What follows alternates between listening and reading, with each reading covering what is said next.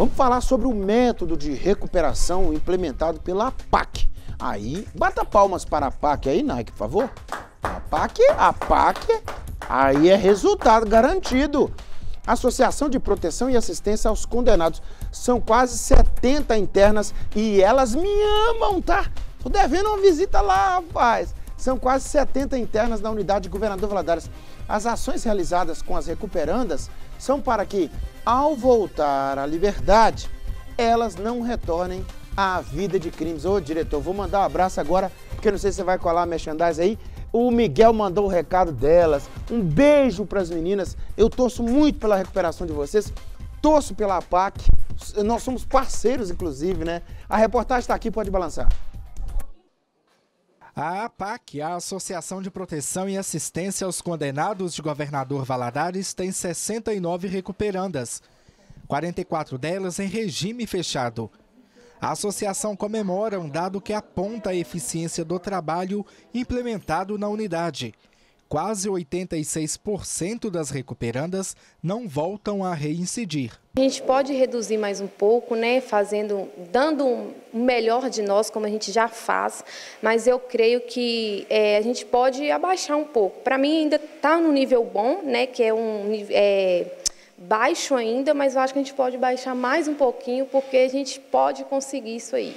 O dado apresentado está na contramão da realidade nacional, na qual 80% das recuperandas que cumprem pena nas APACs do país, infelizmente, voltam a cometer novos crimes.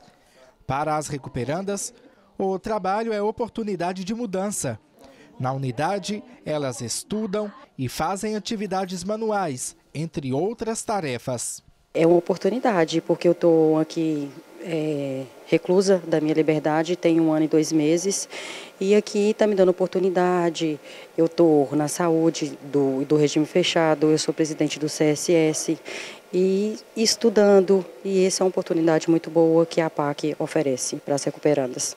Inclui meu ensino médio completo aqui na PAC, que era um sonho meu que lá fora eu não tivesse oportunidade. E hoje aqui eu concluí todos os meus estudos, fiz vários cursos que a PAC nos oferece, né? E agora eu ganhei um curso de trabalhos jurídicos, que era, sempre foi meu sonho, que só que eu estou podendo colocar isso em prática. E gosto muito de fazer crochê, né? Aprendi a gostar, né? Porque no começo é um pouco difícil, né? Porque a gente chega aqui sem nem saber pegar numa agulha. E agora, com o passar do tempo, a gente vai aprendendo. Sonhos é o que muitas têm e esperam realizá-los. Eu percebi que eu, o estudo é o caminho.